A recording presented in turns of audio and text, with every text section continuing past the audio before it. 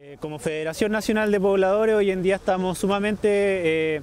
en alerta y dispuestos a la movilización y a la acción en base a la ley de vivienda que quiere aprobar el gobierno, una ley que nosotros rechazamos porque actualmente lo que hace es entregarle más facultades, más subsidio a la inmobiliaria, eh, generando un rol del Estado que no garantiza el derecho a la vivienda ni tampoco le está entregando más facultades a los comités de vivienda para poder construir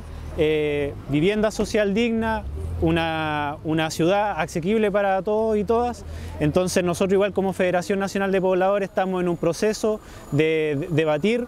nuestra propia ley de vivienda con nuestros propios elementos en donde rescatamos principalmente la autogestión, que es un método en el cual los mismos pobladores y pobladoras sin casa podemos buscar las formas de poder construir nuestras viviendas eh, de forma digna, de forma más rápida, eh, garantizando un derecho a la vivienda que hoy en día no se garantiza aquí en Chile.